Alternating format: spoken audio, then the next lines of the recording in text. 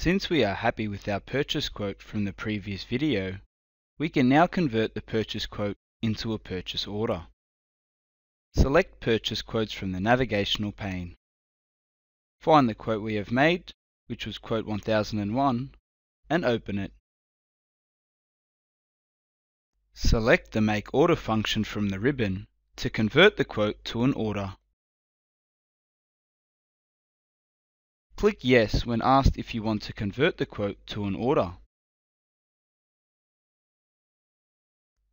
Our quote has been converted to order number 106024. Click OK.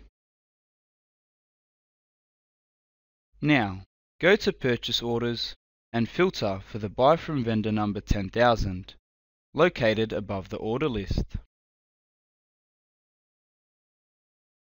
Open order number 106024.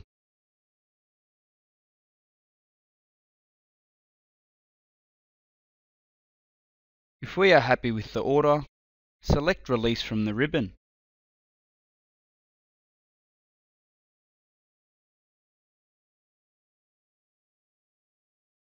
We can then print the order through selecting the Print function in the ribbon.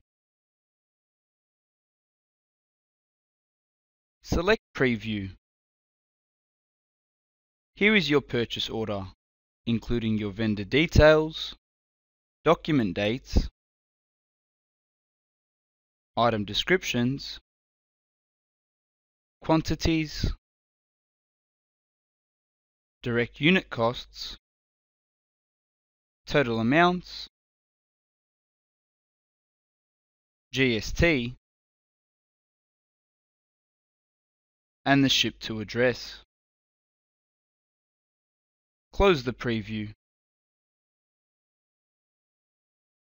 If you wish to make changes to the sales order, you must select Reopen from the ribbon and make the changes accordingly.